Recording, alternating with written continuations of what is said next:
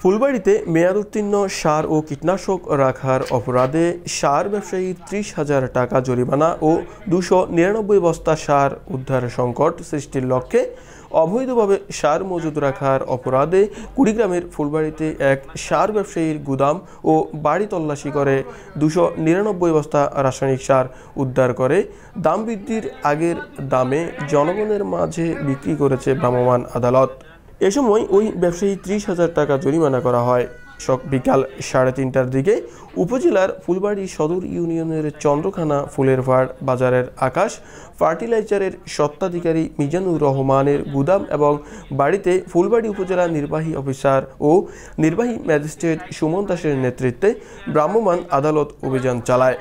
অভিযানের সময় ফুলের পাট বাজারস্থ ওই ব্যবসায়ীর গুদাম থেকে অবৈধভাবে আমদানি করা পঞ্চাশ বস্তা টিএসপি বাহান্ন বস্তা ডিএপি বিএডিসির কাগজপত্রবিহীন পঞ্চান্ন বস্তা ডিএপি ও বাহান্ন বস্তা এমওপি সার উদ্ধার করে।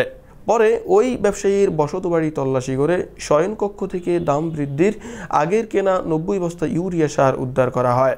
উদ্ধারকৃত সারের আনুমানিক মূল্য দুই লক্ষ ষাট হাজার টাকা। ভ্রাম্যমাণ আদালত পরিচালনার সময় ফুলবাড়ি উপজেলা কৃষি অফিসার নীলুফা ইয়াসমিন সহ উপসহকারী কৃষি কর্মকর্তা ও পুলিশ সদস্যরা উপস্থিত ছিলেন। ফুলবাড়ি উপজেলা নির্বাহী অফিসার ও নির্বাহী ম্যাজিস্ট্রেট সুমন দাস বলেন, উদ্ধারকৃত সার দাম বৃদ্ধির পূর্ব মূল্যে জনগণের মাঝে বিক্রি করা হয়েছে।